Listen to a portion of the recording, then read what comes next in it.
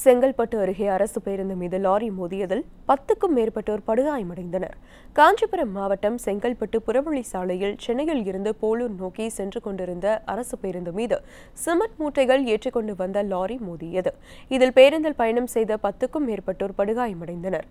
அவசர ஊர்திக்கு தகவல் கொடுக்கப்பட்டு உடனடியாக அவர்கள் செங்கல்பட்டு அரசு மருத்துவமனையில் அனுமதிக்கப்பட்டனர்.